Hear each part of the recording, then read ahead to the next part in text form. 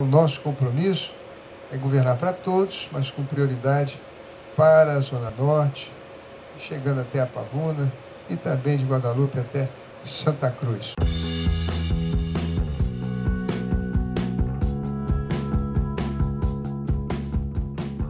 Nós vamos fazer uma, uma coisa importante que eu prometi na campanha, que é o estacionamento para o Mercadão de Madureira. Já apareceu duas empresas para cavar aqui perto do Mercadão um terreno, uma praça e fazer vários andares de estacionamento.